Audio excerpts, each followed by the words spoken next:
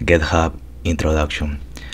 We're gonna go to the official website of GitHub, that is github.com, and we're gonna go to products.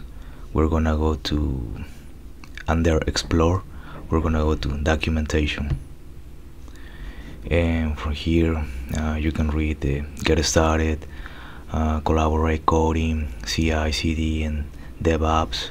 You have security, client apps, project management. We are gonna go with getting started. Get started here. We click it. Uh, get started. Quick start. Uh, learn how to start building, shipping, and maintaining software with GitHub. Explore our products, sign up for an account, and connect with the world's largest development community. Okay, we quick start and here we have this uh, this concepts. Hello world. Set up Git create a repo fork a repo github flow contributing to projects be social community communicating on github github glossary Git cheat sheet Git and github learning resources. So you can go to any of these links here and start uh, reading this information we are gonna go with uh, the first one hello world. So hello world. Follow this hello world exercise to get started with github. Okay we're gonna make a little bigger here with control let's see okay. Introduction. Github is a code hosting platform for version control and collaboration it lets you and others work together on projects from anywhere. This tutorial teaches you GitHub essentials like repositories, branches, commits, and pull requests. You'll create your own Hello World repository and learn GitHub's pull request workflow, a popular way to create and review code. In this quick start guide, you will create and use a repository, start and manage a new branch, make changes to a file and push them to GitHub as commits, open and merge a pull request.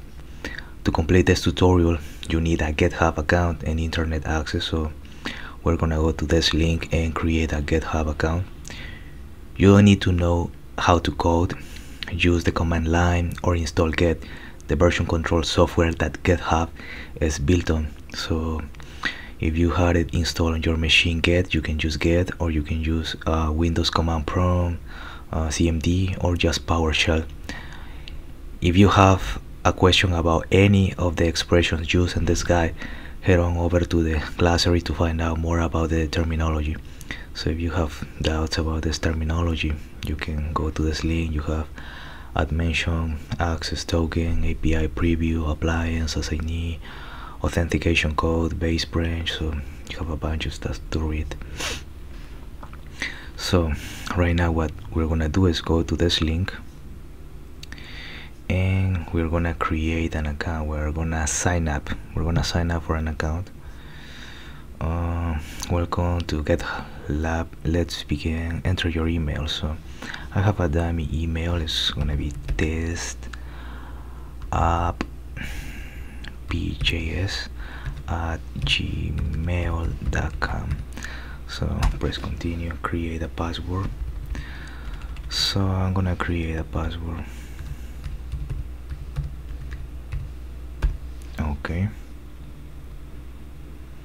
Enter enter a username. So it's gonna be uh, it's gonna be bjs let's say that or or like I'm gonna use this one. This app bjs okay. Then click continue. Would you like to receive product updates and announces via email? Type yes. Type y for yes or n for no. Uh, eh, no. Okay. Please solve this puzzle to verify that you are a human. Okay click start puzzle to continue. Okay start puzzle. Pick one square that shows two identical objects. So two identical objects would be this one. Okay. Pick one square that shows two identical objects. So it's gonna be that one.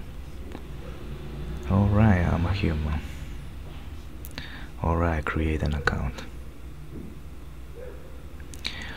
Okay not really you're almost done. We send a launch code to test app okay to my email. So I have my email open here so I'm gonna go here. It's gonna be this number uh, 25 so it's gonna be a 25 23 27 23 27 89 89 okay how many teams members will be working with you? Uh, uh just me.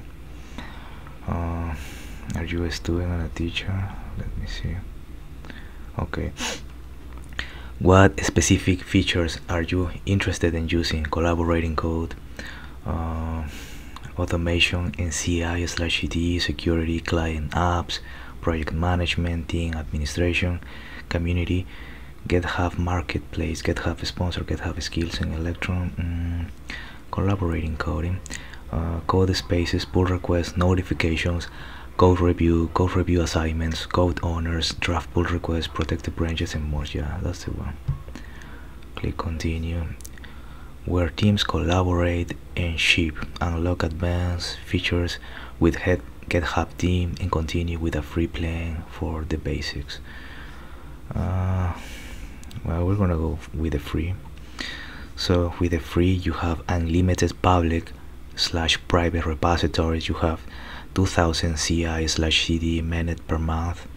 You have uh, 500 megabytes of package storage uh, free for public repositories. You have 120 core hours of code spaces compute. You have 15 gigabytes of code spaces storage. You have community support. And what recommended for you? We can read this theme here.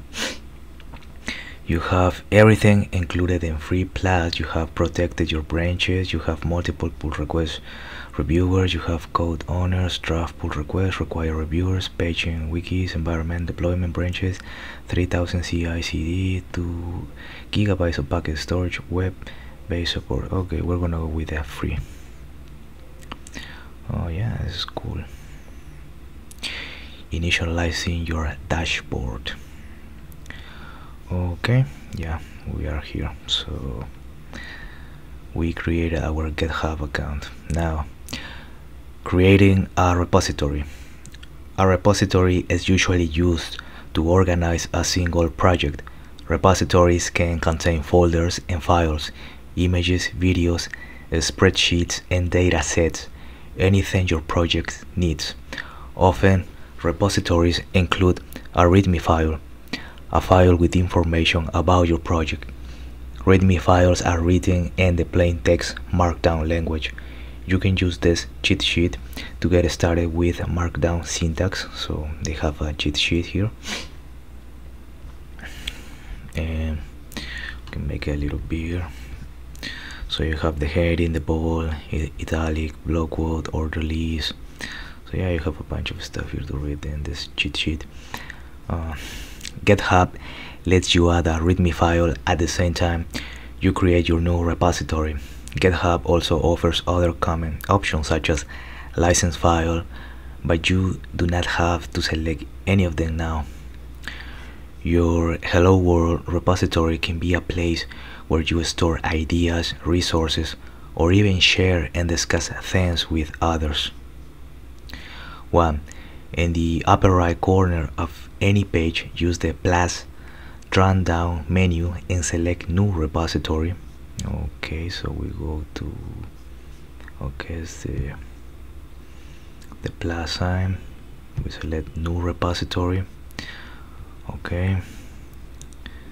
So we have the new repository import repository new gist new organization new project. Okay yeah new organization new project the same thing. Two. In the repository name box enter hello world. Okay let's go here. It's gonna be hello hyphen. Let's put youtube youtube world. Youtube world. Okay. So three. In the description box write a short description. So it's gonna be description uh, our or my my first uh, repo. My first repo or yeah repository. Uh, select add a readme file. Uh, where is that? Here select a readme file you can use public or private public anyone on the internet can see this repository. You choose who can commit private. You choose who can see and commit to this repository. Uh, we, can, we can just leave it public here. Select whether your repository will be public or private okay? Click create repository. Uh, let me see what else do we have? Initialize add a readme file okay. Alright so yeah create a repository. Okay hello youtube world. Okay. Creating a branch. Branching lets you have different versions of a repository at one time. By default your repository has one branch name main that is considered to be the definite branch. You can create additional branches off of main in your repository. You can use branches to have different versions of a project at one time. This is helpful when you want to add new features to a project without changing the main source of code. The work done on different branches will not show up on the main branch until you merge it which we'll cover later on this guide you can use branches to experiment and make edits before committing them to the to main. Okay here. When you create a branch of the main branch you're making a copy or a snapshot of main as it was at that point in time. If someone else made changes to the main branch while you were working on your branch you could pull in those updates. This diagram shows the main the main branch a new branch called feature the journey that feature takes before it's merged into main. So we have here the main branch create feature from uh, create feature branch from main here we have the commit changes submit pull request discuss proposed changes merge feature branch into main. Okay so have you ever saved different versions of a file? Something like this story.txt story hyphen edit.txt story hyphen edit hyphen review.txt branches accomplish similar goals in github repositories here at GitHub, our developers, write, writers, and designers use branches for keeping bugs fixes and feature work separate from our main production branch.